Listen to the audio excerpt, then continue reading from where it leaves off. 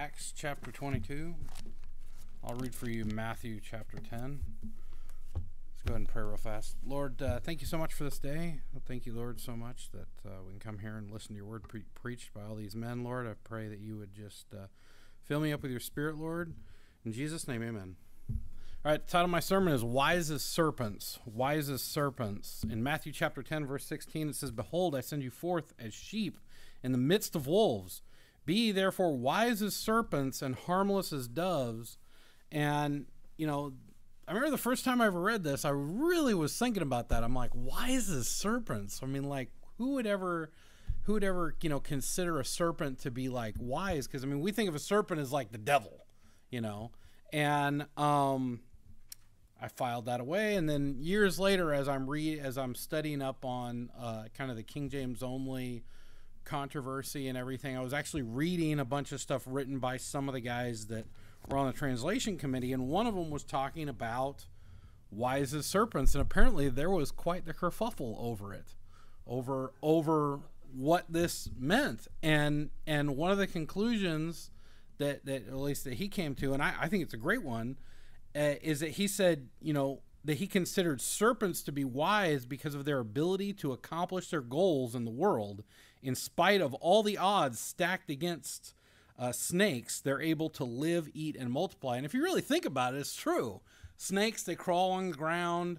You know, they they they're they're really very vulnerable, um, and and yet they're kind of single minded in what they do. And and you know, for the most part, uh, snakes leave you alone I mean, they're they're not very aggressive. They don't attack. Um, if, if you're you're more likely to scare off a snake than for it to like, and and that's part of their instinct to live, their instinct to to do what they what they want to do. And so so I, I thought about that and I said I I really think that that might be what it is. So I'm going to show you. Um, they're they're specifically Paul three things that Paul did that were definitely wise as a serpent in his in his ministry. You're in Acts chapter 22. Look at verse 25, and it says, "And this is when he's in Jerusalem and and he's being persecuted, and you know." And, and this is something I really think we need to do as soul winners is that we really need to be wise in what we're doing. I think I think a lot of times we can we can you know get this kind of really aggressive streak where it's like, hey, no, I'm not soliciting. What are you talking about? I'm not selling anything. I mean, and you can really kind of you can really kind of kind of bow up and and get aggressive. And and I really don't think that's a good idea. And I don't think that's very wise because we're here to accomplish a goal. Okay, the goal is to evangelize, all right?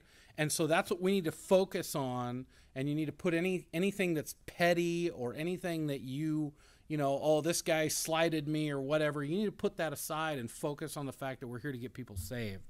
So in Acts chapter 22, starting verse 25, and it says, As they bound him with thongs, Paul said unto the centurion that stood by, Is it lawful for you to scourge a man that is a Roman and uncondemned? When the centurion heard that, he went and told the chief captain, saying, Take heed what thou doest, for this man is a Roman. Then the chief captain came and said unto him, Tell me, art thou a Roman? He said, Yea. And the chief captain answered, With a great sum of I obtained this freedom. And Paul said, But I was freeborn. Then straightway they departed from him, which should have examined him. And the chief captain also was afraid after he knew that he was a Roman and because he had bound him. Now, this is a really good example. Paul didn't fight back. He didn't try and get out of it. He, he, he, but what did he do? He was wise about it. He used the fact that he was a Roman citizen to literally scare this guy in saying, "Hey, I don't want to do that," and and we have the we have that ability today. You know, I mean, we we have the First Amendment. The First Amendment says that we are free to practice our religion, and we need to use that tool, but in a way that's wise. You know, we're not going to just sit there and scream at people. I mean, uh, something I've done is I've basically I've had people that come out and oh, you need to get out of here, and it's like, oh, have a nice day, and then I'll turn around and kind of walk off and wait for them to go back to their couch and then start on the other end of the apartment complex. And I'm I and if they come out and you know do it again, I've never had any of them come back out because they're sitting on their couch eating potato chips or whatever. But but you know that that that's more wise than you just sitting there yelling at them or trying to get out of it. Uh, Acts 23, verse 23. This is when he is brought before the high priest Ananias, uh, and and he he commands him to be smote on the mouth. Then Paul said unto him, God shall smite thee, thou whited wall, for for smitest thou to judge me after the law, and commandest me to be smitten contrary to the law? Again, he's bringing up the law. He's saying, hey, you're not doing the right thing. But you know, again, is Paul fighting it? Is he like gnashing at him and spitting on him and punching him? No, he's not. Uh, and they and they stood by and said, "Revilest thou God's high priest?" Then said Paul, "I I wist not, brethren, that he was the high priest, for it is written, Thou shalt not speak evil of the ruler of thy people." Hey, you know what? We can wish Joe Biden's not the president, you know, uh, but that doesn't mean we're going to try and act actively, physically do something about it, uh, just like Paul didn't.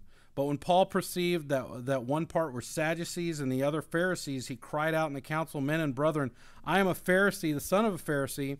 Of the hope of the resurrection of the dead, I am called into question.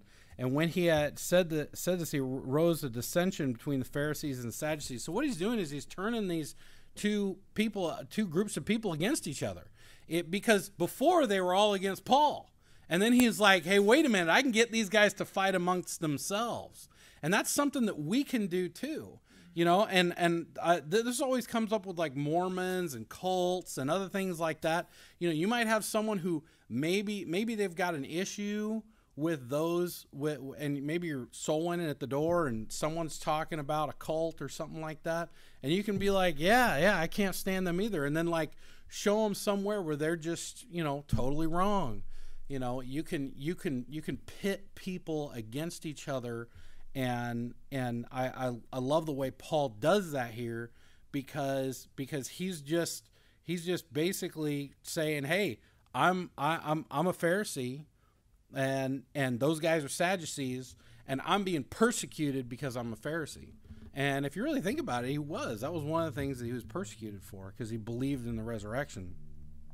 Um, so that's another example where where you can where you can kind of be wise as a serpent in that regard.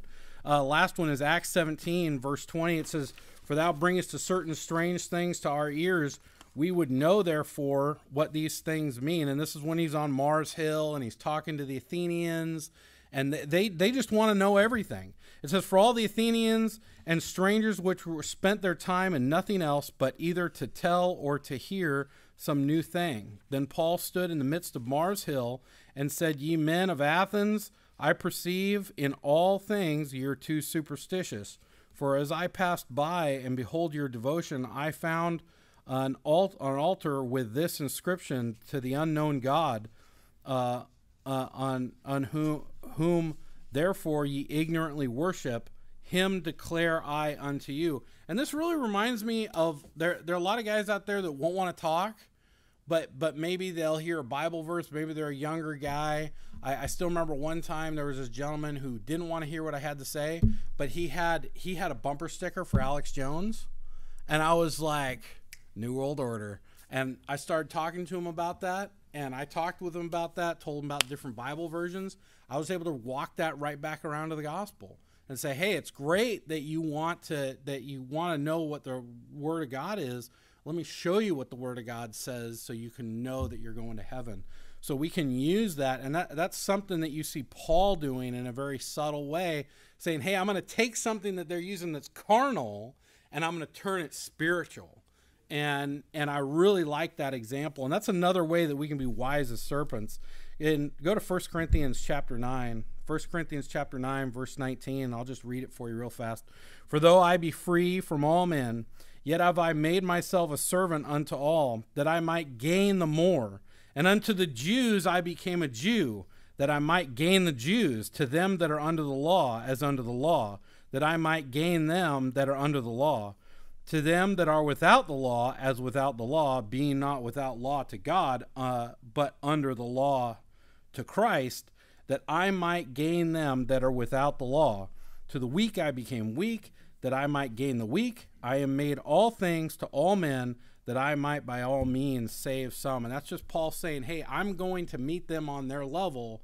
I'm going to talk to them about, you know, what they're interested in, where they're coming from, and and I'm going to work it around to the gospel. And uh, obviously he puts that caveat saying, "Hey, I'm under the law of Christ. You know, I'm not going to do anything that's against the word of God to do that."